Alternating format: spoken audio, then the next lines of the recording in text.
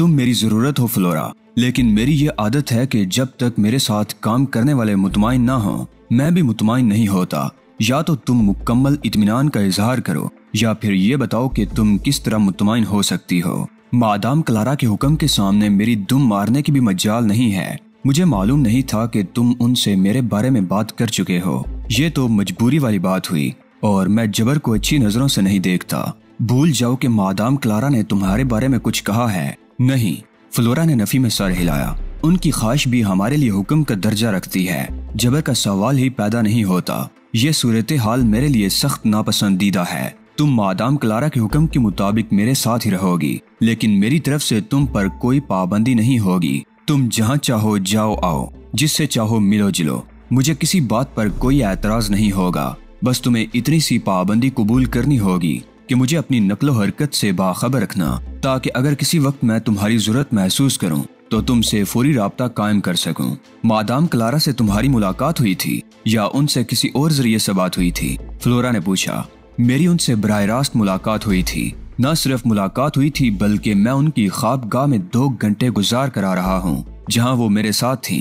नहीं, फ्लोरा की आँखें हैरत से फैल गईं। मैं दस साल से उनके लिए काम कर रही हूँ। मगर मेरी उनसे एक आध बार ही मुलाकात हुई है। तुम खुशकिस्मत हो। तुम मेरी लक हो। अगर तुम ना होती तो ऐसी कामयाबियाँ मेरे हिस्से में नहीं आ सकती थी। मैंने मुस्कुराकर कहा और फ्लोरा मुझे अजीब सी नज़रों से देख कर रह गई। आइए, मिस्टर एडम डी फ्लोक। तहजीब ने मुझे देख कर हँसते हुए कहा, आप ही की वजह से हमने नाश्ता करने में ताखिर की, मगर आपने इससे भी ज़्यादा ताखिर कर दी। वो लोग डाइनिंग टेबल पर थे और नाश्ता कर रहे थे। शुक्रिया मोहतरम रीना सालोमन आ फाल्कन। मैंने भी हँसते हुए कहा, रात तो तुमने कमाल ही कर दिया। मैं कुर्सी खींच कर डाइनिंग टेबल पर बैठ गया। मुझे मालूम था कि मादाम क्लारा ने तुम्हें बुलवा लिया है, तहजीब ने कहा। मैंने गलत तो नहीं किया ना? तुमने बहुत अच्छा किया तहजीब। रात तुम्हारी कॉल रिसीव होने की वजह से बहुत सा वक्त बच गया। अच्छा हुआ कि क्लारा के सामने ही सारी बातें तय हो गईं। वो मेरी तरफ़ से बड़ी हद तक मुतमाइन हो चुकी है। मैंने कोई ऐसी बात तो नहीं की जिससे तुम्हारे लिए कोई मुश्किल पैदा हुई हो। तहजीब ने मुझे गौर से देखते हुए कहा, इसके बिल्कुल बरक्स मैं हैरान हो रहा था। तुमने बिल्कुल सही खतूत पर गुफ्तगु की। तुमसे गुफ्तगु शुरू करते वक्त मुझे बस यही एक खदशा था, कहीं मेरी आवाज़ सुनकर तुम बौखला न जाओ। मैं बहुत बुरी तरह बौखला गई थी अली, तहजीब ने कहा। और एक मैं ही क्या? मेरी जगह कोई भी होता ऐसी गैर मुतव सूरत हाल से दो चार होकर। उसके होश ज़रूर उड़ते, लेकिन तुमने अपनी बौखलाहट पर बड़ी खूबसूरती से पर्दा डाला। एक लम्हे को तो मुझे भी ऐसा महसूस हुआ था, जैसे तुम मुझसे इतनी ही नावाकिफ हो। पहली बार में मेरा नाम भी साफ़ नहीं सुन सकी। इसमें मैडम से ज़्यादा बर्ड का कमाल था। बर्ड ने अकड़ कर कहा, मैडम, मेरी हिदायत की रोशनी में गुफ्तगु कर रही थी। कुछ खुदा का खौफ करें, बड़ साहिब। आतिफ ने हंस कर कहा, तमाम गुफ्तगु मैडम ने खुद की है। क्या हम लोग उस वक्त आपके साथ नहीं थे? तुमने फिर मेरी पोजीशन खराब करने की कोशिश की। बड़ ने आतिफ को घूरा क्या ज़रूरी है कि तुम हमेशा मेरे खिलाफ ही बोलो? इसमें खिलाफ बोलने की क्या बात होगी, मिस्टर बर्ड?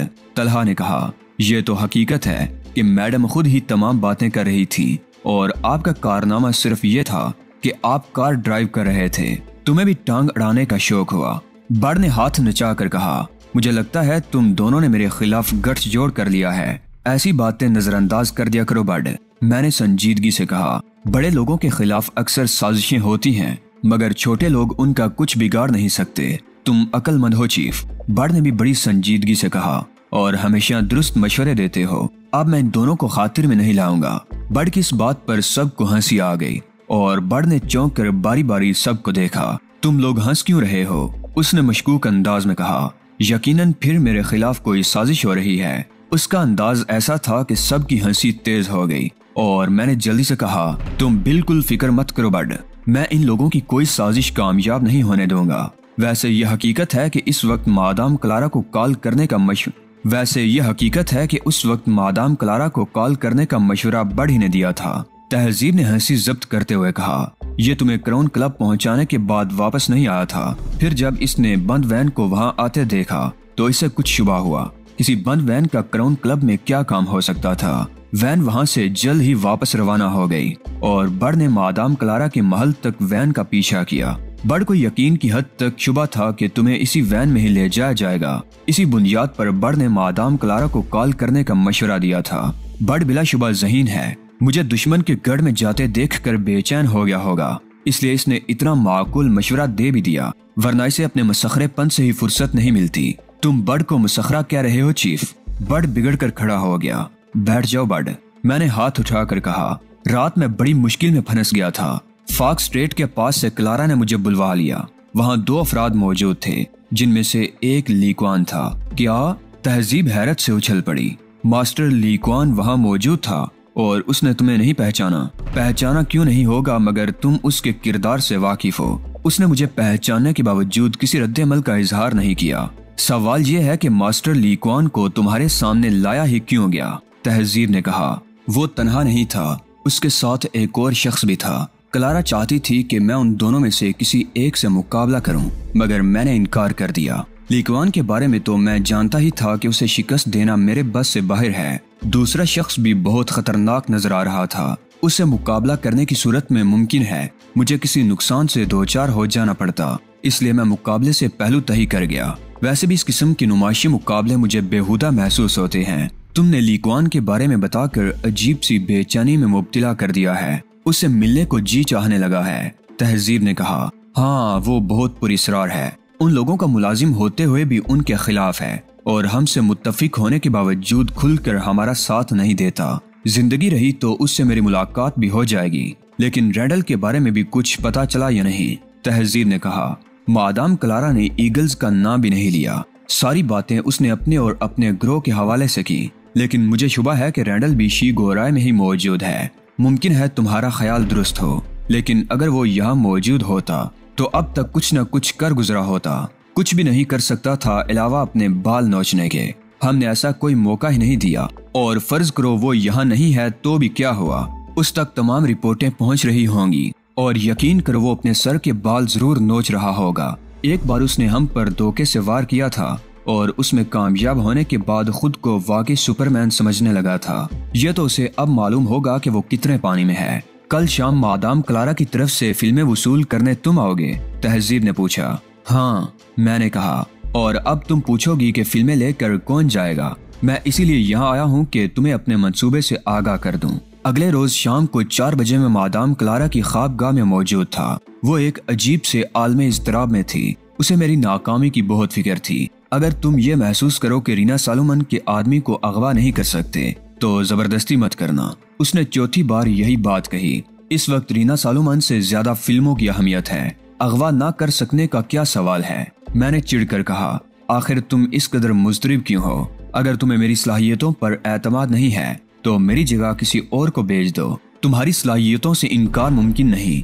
मुझे खास तौर पर तुम्हारा पूरा अंदाज बहुत ज़्यादा पसंद आया है। लेकिन हम रीना सालुमान के साथ जो बदहदी करने जा रहे हैं, उसका नतीजा कहीं खराब ना निकल आए। अच्छा तो फिर जैसा तुम कहो वैसा कर लूँ। रकम का इंतज़ाम तो तुम कर ही चुकी हो। मैं रकम उसके हवाले करके जो कुछ वो देगा ले आऊँगा। जो कुछ वो देगा ले आऊँगा। मादाम क्लारा ने कुछ ना समझने वाले अंदाज में कहा, तुम्हारा मतलब क्या है? फ़िल्में ना मैंने देखी हैं और ना तुमने देखी हैं। हमें ये कैसे मालूम होगा कि जो कुछ हमें दिया जा रहा है, वो हमारी मतलूबा चीज़ ही है। तुम तो मामले को उलझाए दे रहे हो, मादाम क्लारा ने नर्वस अंदाज में कहा। यह मसला तो वाकई है, लेकिन इसका हल क्या होगा? इसका हल वही है जो मैं कह रहा हूँ। जो शख्स फ़िल्में लेकर आएगा, मैं उसको उठा लाऊँगा।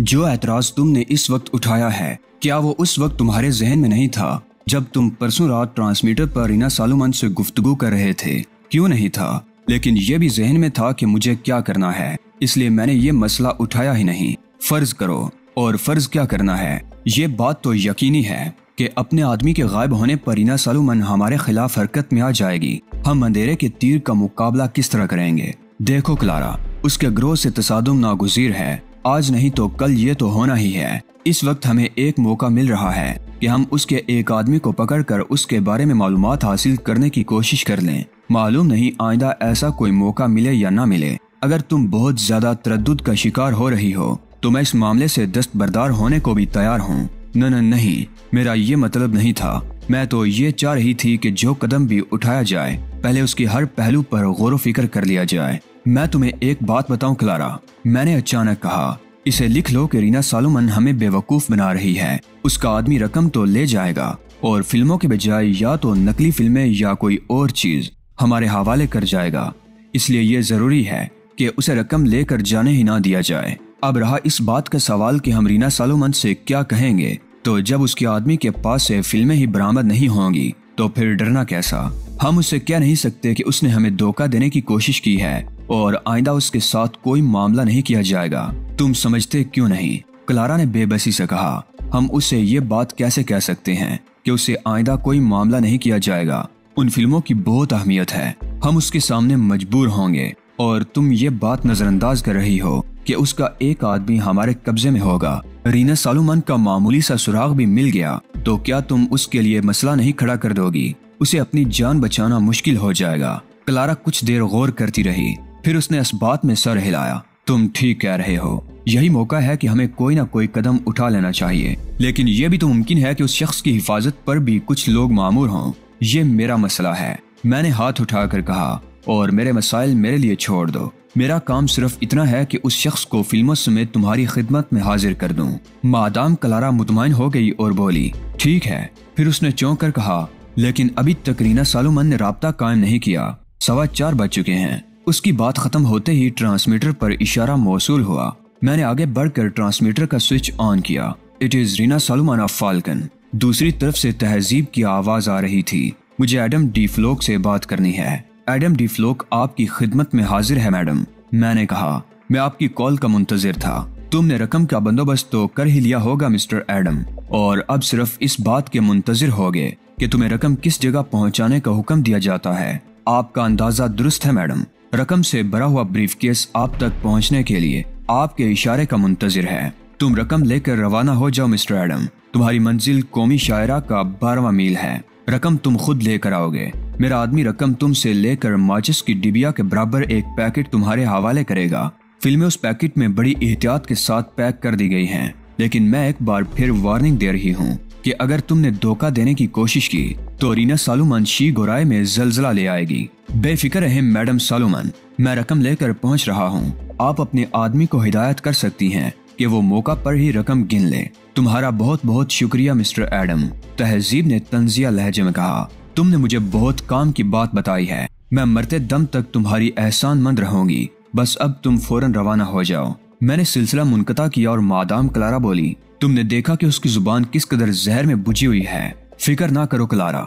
मैंने बड़ी बेतकल्फी से उसका शाना थपथपाया। एक आध दिन की बात और रह गई है। फिर मैं उस नागन का सारा जहर निकाल दूँगा। रकम से भरा हुआ वजनी ब्रीफ केस लेकर मैं कार की अकबी निशिस्त पर बैठा हुआ था। कार ड्राइवर चला रहा था और कार का ताल्लुक मादाम कलारा से था। ड्राइवर भी उसका मुलाजिम था। प्रोग्राम के मुताबिक ड्राइवर मुझे कौमी शाहरा के बारहवें मील पर उतार कर कार वापस ले आता।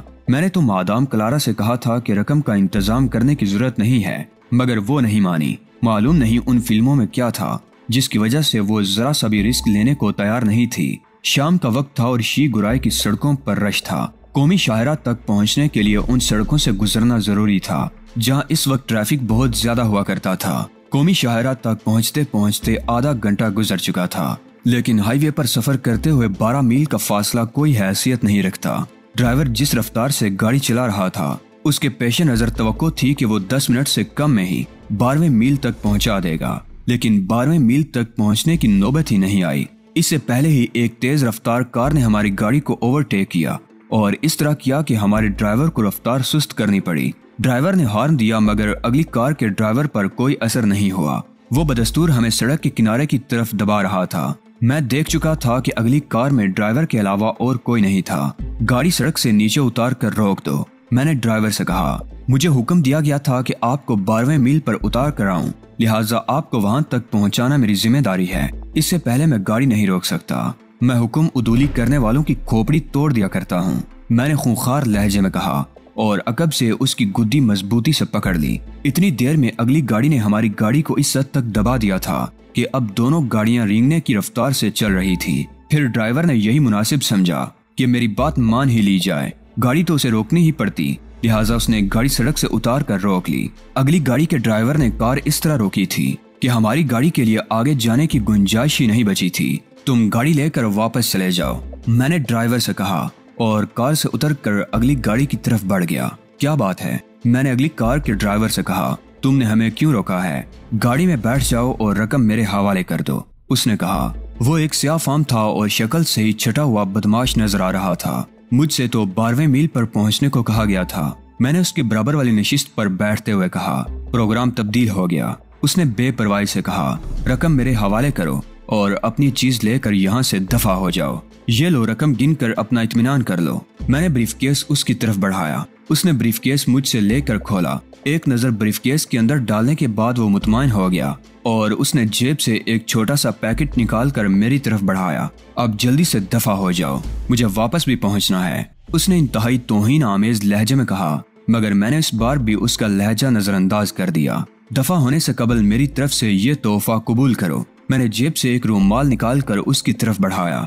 फ्रांस का रूमाल है और इवनिंग इन पेरिस की खुशबू से मुअत्तर है। उसने रूमाल को हरीस निगाहों से देखा। एक लम्हे के लिए उसके चेहरे पर तजब्जुब के आसार नज़र आए। शायद वो ये फैसला करने की कोशिश कर रहा था कि इस नादिर तोहफे को कबूल करे या इनकार कर दे। आखिरकार उसने तोहफा कबूल करने का फैसला किया। लाओ, उसने हाथ बढ़ाकर मुझसे रुमाल लिया और उसे नाक से लगाकर इवनिंग इन पेरिस की खुशबू सूंघने की कोशिश की। उसने बहुत गहरी सांस ली थी। वजह यह थी कि शायद उसने कभी इवनिंग इन पेरिस का नाम भी नहीं सुना होगा। इसलिए इस खुशबू का ज़्यादा से ज़्यादा हिस्सा एक ही बार में अपने अंदर उतार लेना चाहता था। मगर वहाँ इवनिंग इन पेरिस थी ही कब? वो तो क्लोरोफार्म में भीगा हुआ रुमाल था। ये कैसी इवनिंग इन पेरिस है? उसने लड़खड़ाती हुई आवाज़ में कहा। और अब क्लोरोफार्म उस पर असरअंदाज हो चुका था। अकेले दफ़ा होने के इरादे से नहीं आया था। मैंने मुस्कुरा कर कहा, पहले ही से तुम्हें साथ लेकर दफ़ा होने का प्रोग्राम बना लिया था। उसने आँखें फाड़ कर मुझे देखने की कोशिश की और फिर बड़ी फर्मा बरदारी से अपना सर स्टेयरिंग व्हील से टिका दिया। वो बेहोश हो चुका था। उसे पिछली नशिस्त पर मुंतकिल करने में जरा सी दुश्वारी तो हुई, मगर मैंने इस काम में ज़्यादा देर नहीं लगाई। हाईवे पर से तेज रफ्तार गाड़ियाँ गुजर रही थीं। ज़्यादा देर लगाने की सूरत में कोई हमारी तरफ़ मतवजे भी हो सकता था। वापसी का सफ़र उसी कार पर हुआ था और मैंने खासी तेज रफ्तारी का मुजाहरा किया था। क्लारा ने शायद मेरे लिए खसूसी हिदायत दे दी थी, इसीलिए मुझे गेट पर नहीं रोका गया। क्या रहा? क्लारा झपटती हुई गाड़ी की तरफ़ आई थी। वो इमारत के बाहर ही टहल रही थी। कामयाबी। मैंने दो उंगलियों से वी का निशान बनाकर कहा मैंने तुमसे कहा था कि कुछ नहीं होगा, मगर तुम खाम खाक घबरा रही थी। तुम तुम इस शख्स को भी अगवा कर लाए। क्लारा ने हैरत से आँखें फाड़ कर कहा यह कार भी इन्हीं लोगों की है। मैंने मुस्कुरा कर कहा, इसे तुम मेरी तरफ़ से तोहफा के तौर पर रख सकती हो। क्लारा ने पिछले दरवाजे की खिड़की से अंदर झाँक कर उस कलोटे को देखने की कोशिश की, मगर वो तो अगली और पिछली नशिस्त के खला में मुँह के बल गिरा हुआ था, इसलिए क्लारा उसकी सूरत नहीं देख सकी। तहम उसने अपने दो आदमियों को बुलाया। इसे बड़ी हिफाजत से अकूबत खाने में पहुँचा दो। क्लारा ने अपने आदमियों को हुक्म दिया। इस पर तशद करना है, ख्याल रहे कि ये खुदकुशी न करने पाए। अपने आदमियों को हुक्म देकर वो पलटी और मेरा हाथ पकड़ लिया। आओ, हम ड्राइंग रूम में चलते हैं। तुमने बहुत बड़ा कारनामा किया है। मैं उसके साथ ड्राइंग रूम में पहुँचा और ब्रीफ उसके हवाले कर दिया। फिर जेब से वो पैकेट भी निकाल कर उसे दे दिया, जो उस कलोटे ने मुझे दिया था। मैंने ये पैकेट खोल कर नहीं देखा। मैंने क्लारा से कहा और ना ही मैंने कभी माइक्रो फ़िल्में देखी हैं, लेकिन मुझे यकीन है कि इसमें से कम अज कम दो माइक्रो फ़िल्में तो हर गिज नहीं निकलेंगी। और अगर निकली भी तो मतलूबा फ़िल्में नहीं होंगी। क्लारा ने हैरत से मुझे देखा, ये बात तुम इतने यकीन से किस तरह कह सकते हो? उसने पैकेट मुझसे लेते हुए कहा, रीना सालुमन के बारे में मैंने यही अंदाज़ा लगाया है। वैसे भी मैं जराइम की दुनिया का आदमी हूँ, जहाँ इस किस्म के सौदों का अंजाम यही हुआ करता है।